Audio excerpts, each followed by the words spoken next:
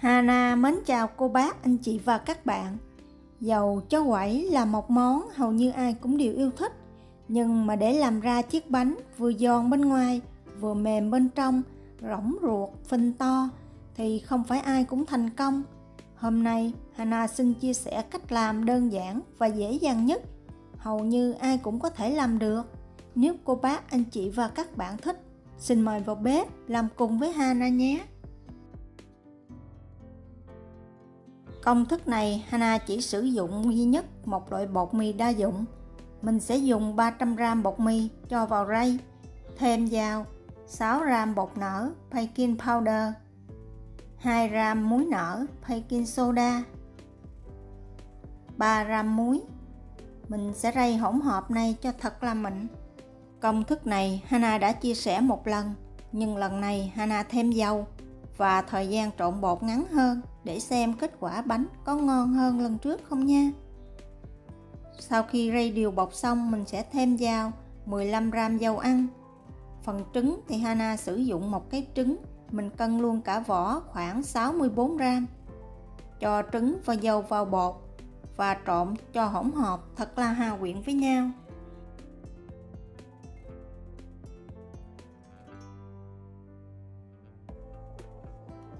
Sau đó thêm từ từ vào 140ml nước.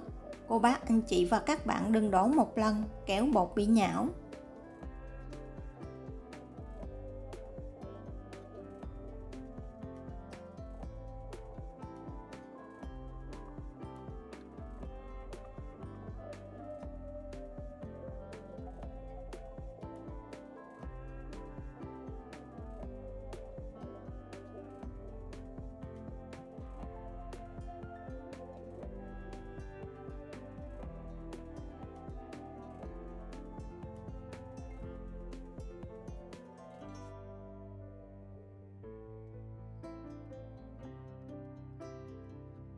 Bột sau khi trộn xong vừa mềm vừa nhão và bị dính tay nên mình không nhồi bột lúc này, mình sẽ đậy nắp lại để 10 phút cho bột ngấm hết nước. Sau 10 phút mình sẽ dỡ nắp ra, thò một ít dầu ăn chống dính, cho khối bột ra bàn. Bây giờ cô bác anh chị và các bạn không cần phải nhồi bột, chỉ cần dùng tay ấn xẹp hết bọt khí bên trong, gấp bột làm ba theo chiều ngang và chiều dọc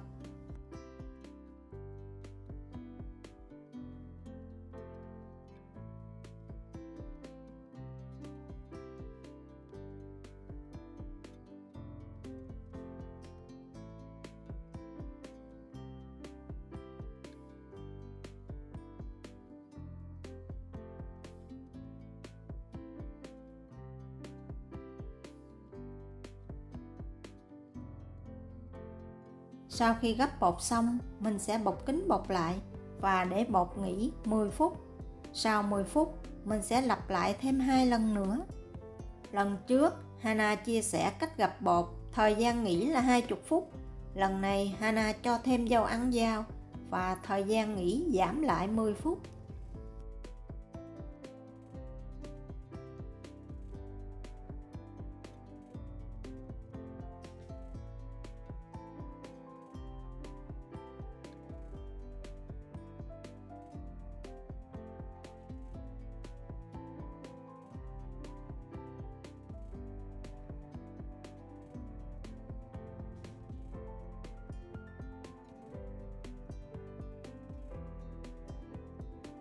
Lần cuối cùng, sau khi mình gấp bột xong, mình sẽ ấn xẹp bọt khí bên trong một lần nữa. Sau đó cuộn bột lại, bọc kín và để bột nghỉ ít nhất là 4 tiếng. Thời tiết bên chỗ Hana bây giờ khoảng 34 độ C, nên bột sau khi để 4 tiếng, bánh sau khi làm xong, Hana ăn cảm thấy vừa mềm dai, rất là ngon. Nếu chỗ cô bác, anh chị và các bạn thời tiết lạnh thì mình để lâu hơn một xíu hoặc nếu không có thời gian, cô bác anh chị và các bạn có thể bọc kính khối bột lại để trong tủ lạnh qua đêm.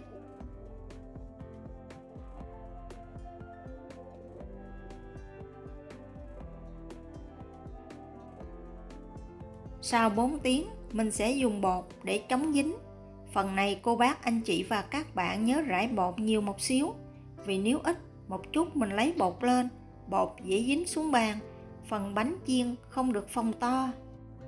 Để phần bánh được phồng to và rỗng ruột, thì phần bột này cô bác, anh chị và các bạn nhớ là mình cán bột dày ít nhất là 1 cm và chia bột theo chiều ngang có kích thước là 3 cm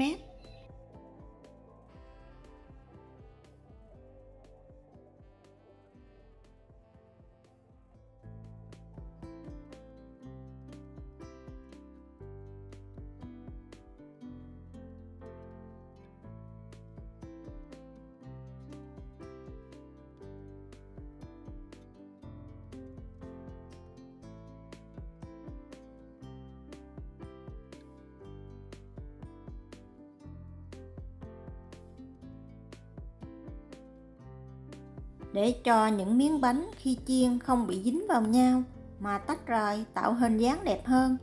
Thì sau khi chia bột xong, cô bác, anh chị và các bạn nhớ áo hai bên hông miếng bột, một ít bột áo. Để một chút, mình đặt hai miếng bột chồng lên nhau.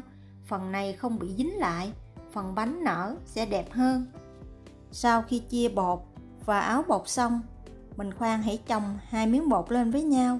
Bây giờ mình sẽ đẩy kín phần bột này lại và mình đi đun nóng phần dầu ăn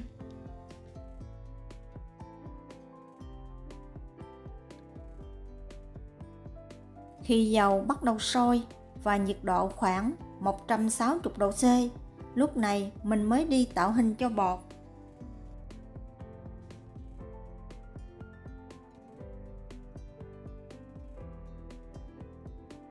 Mình sẽ dùng đũa nhúng nước và gạch lên phần chánh giữa của miếng bột cô bác, anh chị và các bạn nhớ gạch xen kẽ sau đó, mình sẽ dùng miếng bột không thấm nước, đặt chồng lên miếng bột thấm nước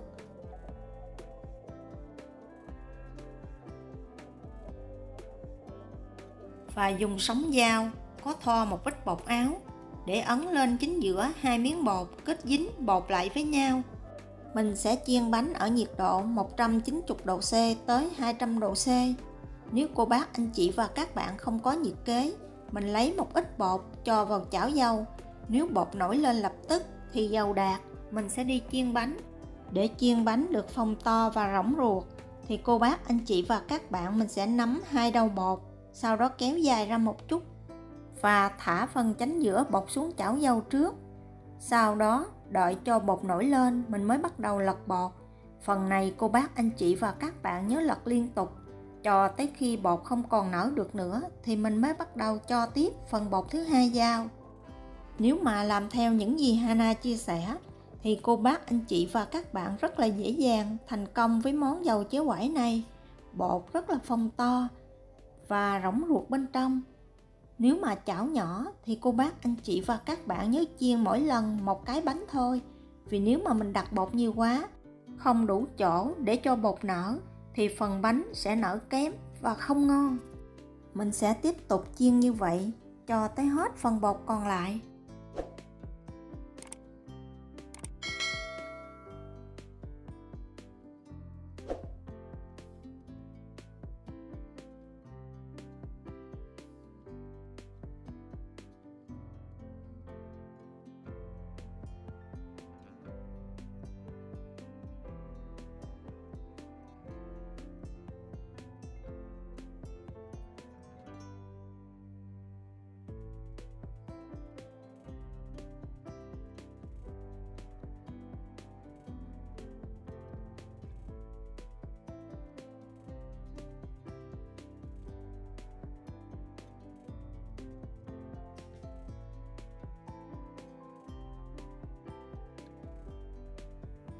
Và đây là thành phẩm bánh của Hana sau khi chiên xong. Phần bên ngoài thì giòn giòn, bên trong thì dai dai mềm mềm.